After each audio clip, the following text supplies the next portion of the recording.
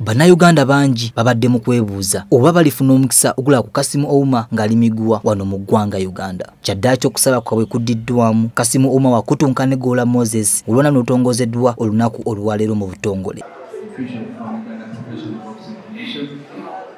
tusaba ssebo otegeeze abali mu fayiti tugirina gula moses nga batonya guteeka ayogedde ebigambo bingi nnyo era muno mbadde n'okusiba akakalu singa asusa rawundi ey'omunaana ajja kuba awangudde.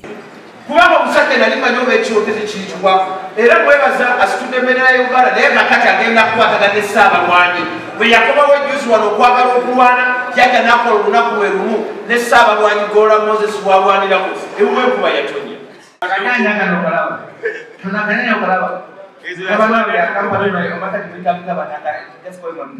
ate kasimu ouma ebigambo ebibadde bitono nnyo nga kyasinza okusimbako essira nti gu mulundi gwakusosa okuzanya wano mu ggwanga uganda era bannayuganda basuubire buwanguzi. Bampadde fight ekikulu nze ndi happy I'm just happy fight. Abannayuganda kyekikulu ennyo. Sibalwaniranga muti mulaba nga bwe musuula kirungi nnyo oba kibi nnyo ngenda kulwa ne champion wa kickboxing nambemu kickboxer. Naye nange ndi one of the best uganda mwasalawo. So ngenda kujambalagako obwerere nabwagabye bayala nkubeera sazigoba zaki naye nze mubi Oh,